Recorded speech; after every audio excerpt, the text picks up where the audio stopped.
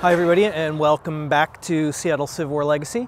Uh, today we're doing something a little different. Um, usually we focus specifically on um, the veterans in Seattle and the suburbs in King County, but today we're about 25 miles north of Seattle in the city of Everett to visit the historic Evergreen Cemetery.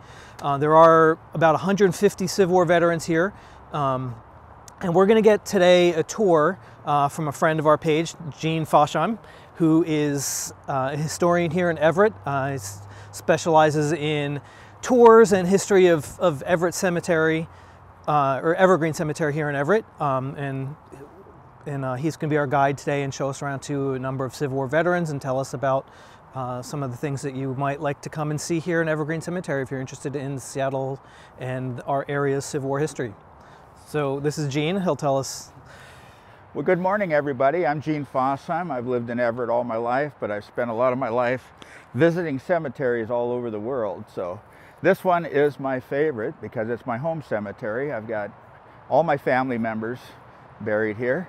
But we're going to talk about this oldest part of the cemetery to start with.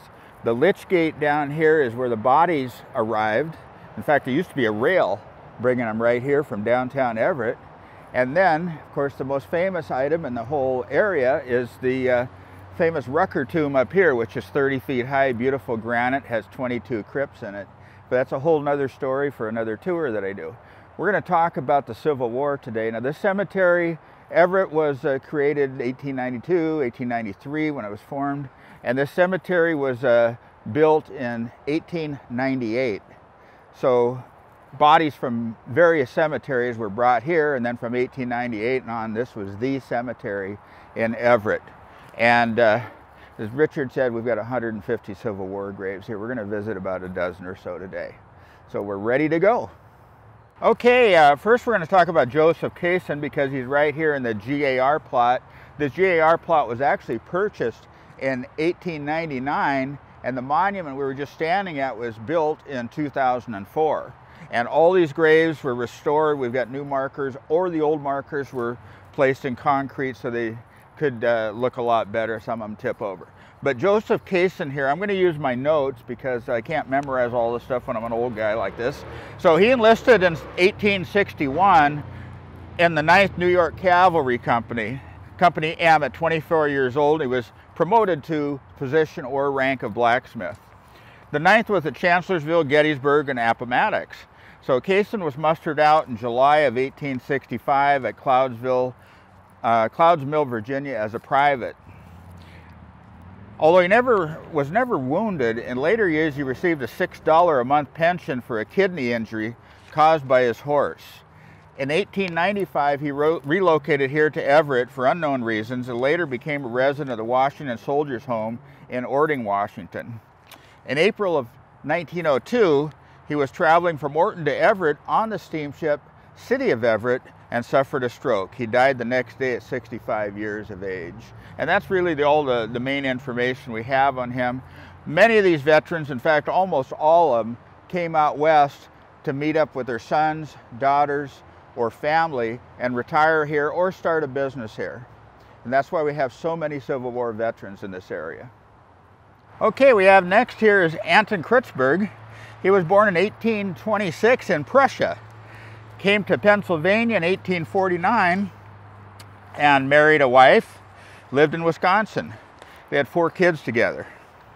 He enlisted in 1864 at the end of the year, and he was about 38 years of age, which was far above the 26 year average of the Civil War soldier. He likely received an enlistment bonus of at least $100 while the wage of a private was $13 a month at the time. His military service, as many veterans, um, proved to be a medical disaster. Within six months, he was in the hospital with dropsy, and he was given a medical discharge in May of 1865. So his time in the military was very, very short. He settled in Green Bay, Wisconsin, got divorced. Um, he was given a disability pension of $17 a month because of rheumatism and he claimed all kinds of ailments, including piles, lung and spleen problems, broken left wrist, and loss of hearing.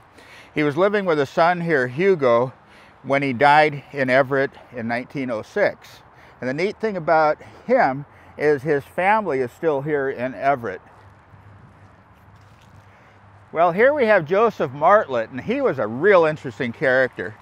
He was the oldest of 10 kids, born around 1846, and he was born in France, close to Paris. He ended up a farmer in Beloit, Wisconsin. At the end of August 1864, he entered the U.S. Army and spent most of his time with the 42nd Wisconsin in Cairo, Illinois, and was discharged in June of 1865. He married uh, Mary Catherine Graininger after the war, 1868, had 13 children. In 1888, 20 years later, he mysteriously left home to go to work in the woods and never came back. It appears the burden of the responsibility, including two sets of twins and a wife who was pregnant again, was too much and he abandoned them.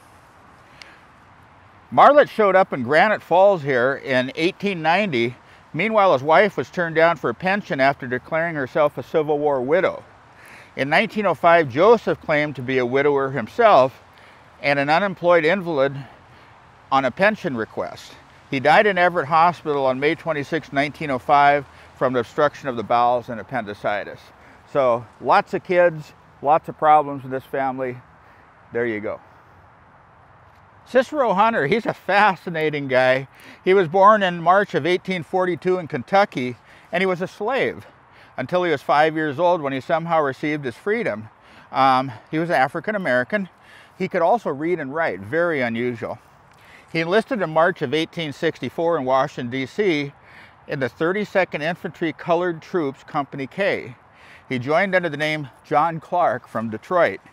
He mustered out in August of 1865 as a private and joined the Merchant Marines until 1869. Then he likely worked as a railroad porter in Philadelphia. In 1907, Cicero was living in Bellingham, and in 1910 he had his own farm up in Granite Falls, just about 20 miles from here.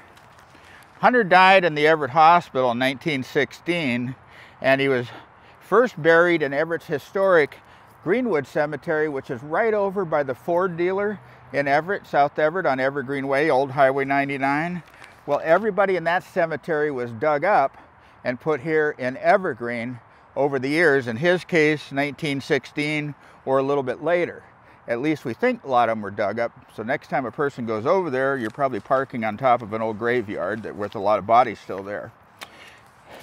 His body was actually moved here in 1921 and his grave was unmarked until our Civil War group came in and purchased a marker to put on here. We have no idea why he changed his name, but fascinating history for one of our colored troops.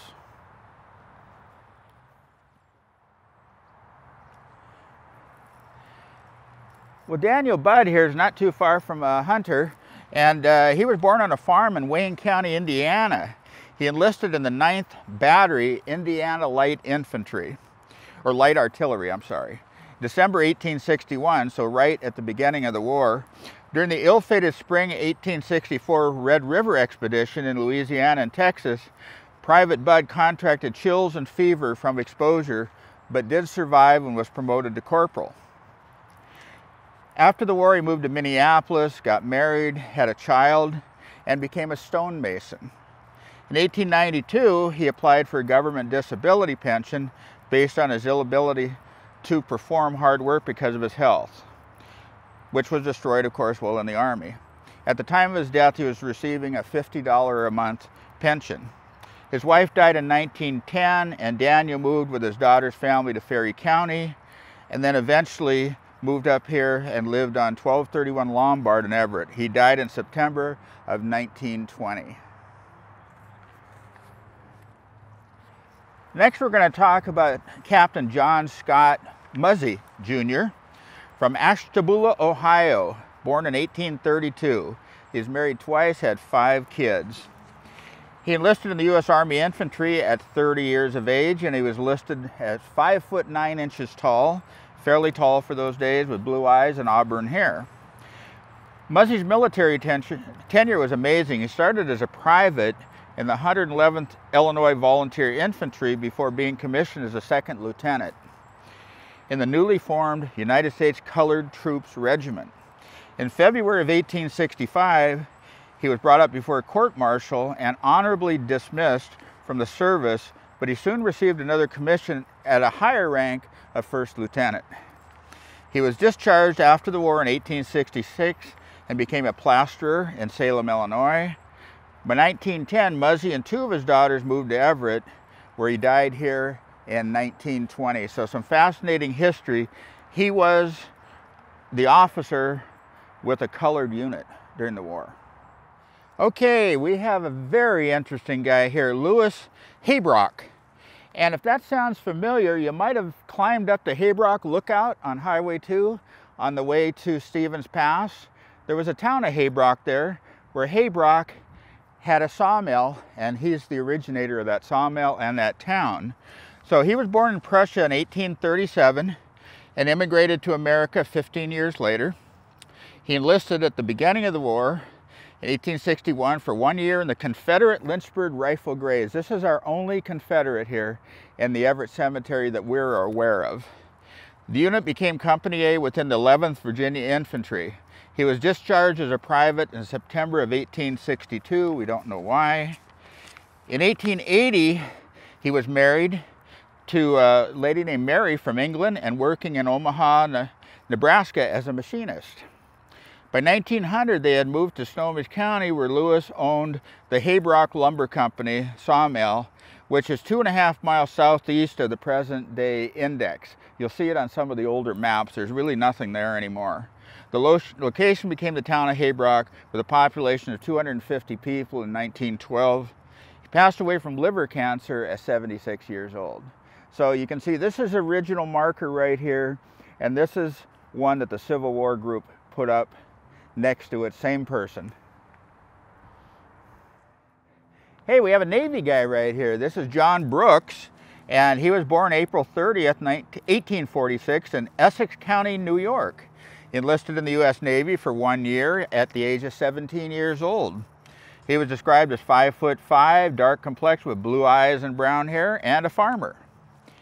He became a landsman, a novice with no sea experience, but during his one year of service rose to the rank of seaman and became a Navy bugler. He and his brother were assigned to four vessels on the Mississippi River, including the gunboat USS Essex. While aboard uh, the sidewheeler steamer USS General Sterling Price in March of 1864, they participated in the ill-fated Red River expedition into Texas. During this operation, the Price captured a number of bales of rebel cotton. So that was their claim to fame. When his year, uh, one year enlistment was completed, John resettled in New York, moved to Illinois, Pittsburgh, Wisconsin. He got married, had four kids, and ended up out here because of the great farmland. So he became a farmer out west in 1902. He died at his home in Everett at 69 years of age, and he uh, died of cholectitis. Can't pronounce that very well. So there's John Brooks. Okay, this is uh, Robert Beecham, and he certainly is the most interesting character probably from the Civil War era here and after in the cemetery. One of the most interesting characters here, period. Quite an accomplished guy. That's his marker, this is his wife. And here's a nice brass plaque that was put in by the Daughters of the American Revolution a few years back. He was born in 1838 in New Brunswick, Canada. When he was seven years of age, his parents moved to Sun Prairie, Wisconsin. Beecham enlisted in the 2nd Wisconsin Infantry Company H in May of 1861. In addition to combat, he spent time in the Army hospitals, suffered from various illnesses, and despite his illnesses, he was soon promoted to corporal. During the first day of fighting in Gettysburg, Corporal Beecham was captured and confined in Richmond, Virginia. In late July 1863, he was paroled north and hospitalized. In late 1863, Corporal Beecham applied for and received a first lieutenant's commission in one of the new regiments of colored troops being formed in the Union Army. He joined the 23rd United States Colored Troops Volunteer Infantry in early 1864. In July, Lieutenant Beecham was wounded in the right thigh and taken captive, imprisoned at Camp Asylum, North Carolina. He was not freed until March of 1865, and then he was promoted. He was promoted to captain while he was still a, a prisoner in 1864. Beecham married Emma Watkinson in 1864 and they had three children. After the war, the Beechams moved to a farm in Litchfield, Minnesota. In 1894, they moved to Everett, where he was employed as an insurance agent, lawyer, street commissioner, and newspaper man. So he was a very important person in the very early days of Everett. His greatest prominence came through his writings of poetry and philosophy. Beecham wrote two books, As If It Were Glory, Robert Beecham's Civil War from the Iron Brigade to the Black Regiments and Gettysburg, the pivotal battle of Civil War. His last job, a 16-year stint as Supreme Court bailiff, came to an end when his eyesight and health began to fail. He died in 1920 at 82. Robert Beecham, what a life he had. Very interesting guy. Hi, Richard again. Um, so I, am really, he, he is definitely the most significant uh, figure among military, Civil War history-wise in the cemetery. Uh, this, the second Wisconsin, I think many of you will recognize from the Iron Brigade, um, which is of course famous for their fight at Gettysburg.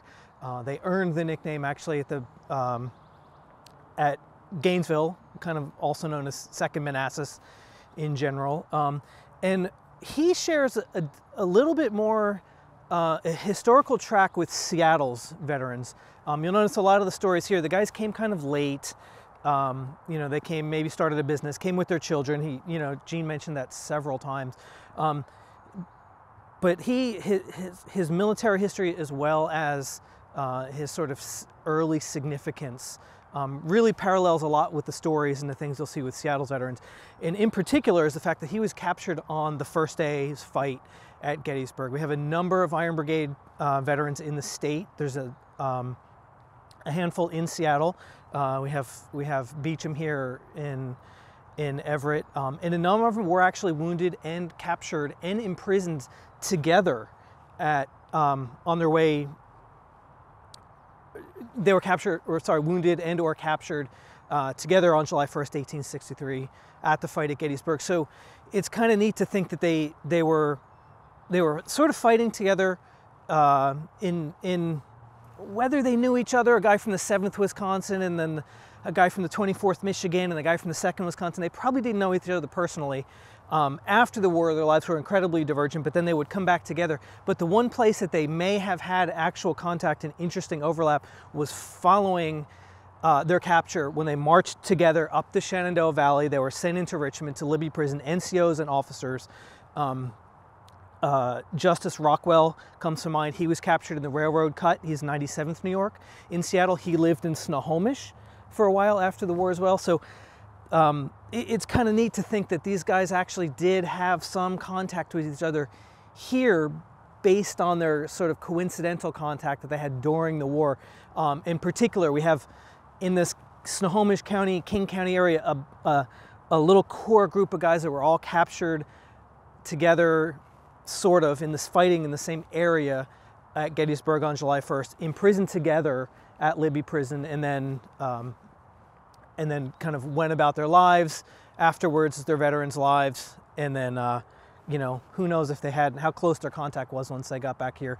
But I would assume that Beecham probably knew some of the other Civil War uh, veterans in Seattle, and he likely may have known some of the others that were imprisoned, captured, and imprisoned together with him at Libby uh, in late 1863.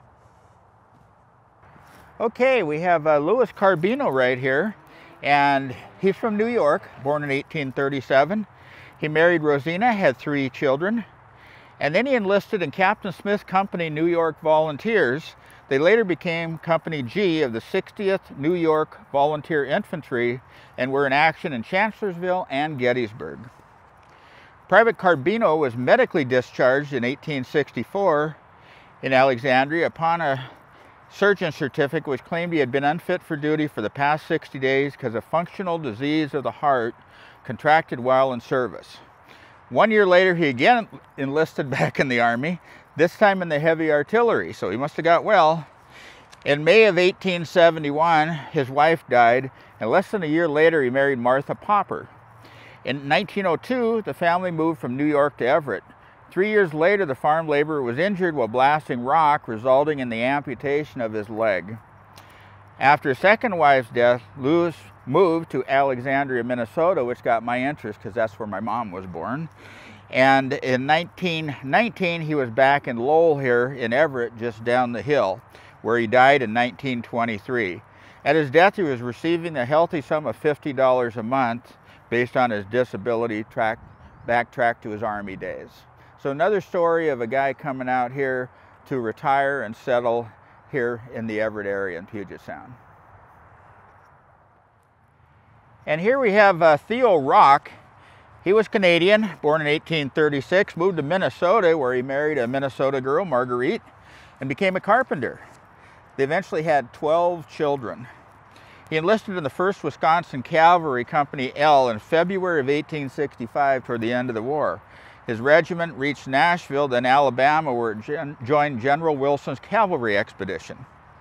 In early May, a detachment of the 1st set out to search for Confederate President Jefferson Davis. Theo mustered out in July in Edgefield, Tennessee.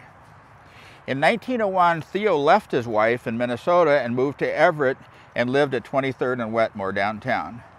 He remarried in 1914 in Vancouver, Canada. His new bride was Sylvia Parr, a widow of Civil War veteran Thomas Parr in May of 1917. They were residing at uh, 2231 Norton where Theo died. He'd been receiving a pricely sum of 42 a month in disability payments and his wife is here and her husband's here and Theo is there, but we put his marker here, okay? Well, here we have the last one on my tour today. This is Daniel Bennett with his wife here.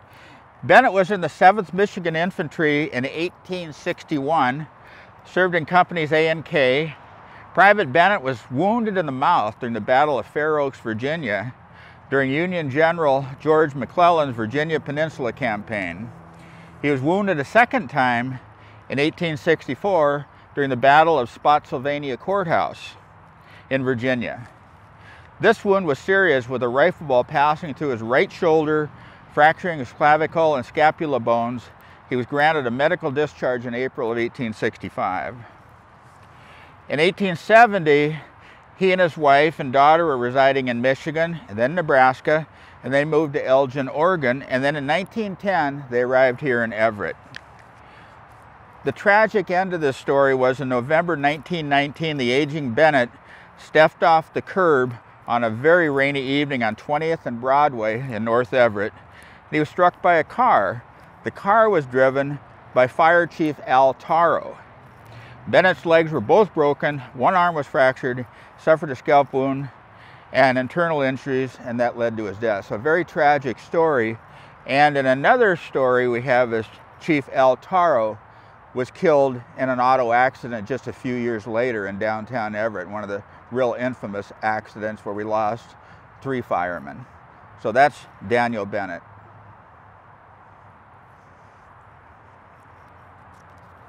Hi there, I'm finished up with the Civil War tour, but I just want to remind everybody that Historic Everett in town here is a great historic preservation organization, and they usually have me lead a tour in the summertime of the cemetery where I cover many, many different things. I also do private tours, so let me know if you have a group that wants a tour. We have so much history here, all kinds of history. And then get on Amazon and look it up. And if you're interested in early Everett history and my family history, I have a book called Milltown Boy. It's based on the diaries from my dad, a couple hundred unpublished photos, and very interesting stuff. So a lot of history here in Everett, and enjoy this absolutely gorgeous garden cemetery. Thanks. Everybody, thank you for watching today's tour of Historic Evergreen Cemetery in Everett with Gene Fosheim. Uh, he was kind enough to give us a tour and an introduction to some of the Civil War veterans that are buried here. There's over 150 approximately that are here in the cemetery. So what he did today just touches on the surface of the history that's here. Um, so I hope you come and visit, come see the GAR monument, visit the veterans that are here of the Civil War, historic Everett, World War II. Um, there's lots and lots of history here. If you're interested in more, like Gene said, he offers private tours, um, get in contact with the Everett historical organizations, um, and take advantage of that. And I just want to thank Gene one more time for showing us around a little bit. Um, and uh, we'll come back to you next time from Seattle again. Um, but we are going to be doing more programming, more content from from some of the other cemeteries out of Seattle a little bit to kind of kind of you know spread around what what we're offering as far as, as history. But uh, we look forward to uh, seeing you next time in Seattle. Thanks for watching.